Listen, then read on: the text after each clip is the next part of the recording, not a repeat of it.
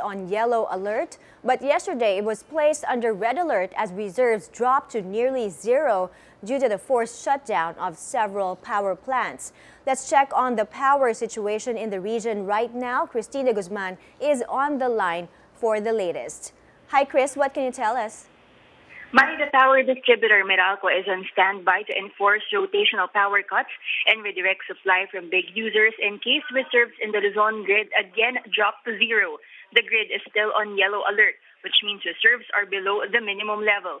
Available capacity as of 11:40 this morning was at 800 8,241 megawatts against a demand of 7,763 megawatts. That put reserves at 568 megawatts, still below the minimum required reserves. This point, rotational brownouts may be carried out should there be a spike in demand or if another baseload power plant unexpectedly shuts down. The National Grid Corporation of the Philippines earlier said there were no power cuts yesterday as demand tapered off later in the afternoon.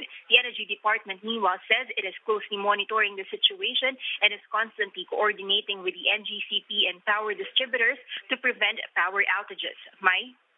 All right, Kristine, you mentioned that Meralco is on standby to enforce rotational blackouts. What would it take for the power distributor to uh, implement this? What will it take for this to happen? Would it take another red alert status uh, in the Luzon grid? That's right, my. The Luzon grid is still on yellow alert at this time, meaning there are still reserves, but these are below the minimum level. Once reserves hit zero, the power distributor Meralco may implement rotational power cuts. Mai? All right, thank you, Kristine de Guzman. They're reporting to us on the line from Taguig City.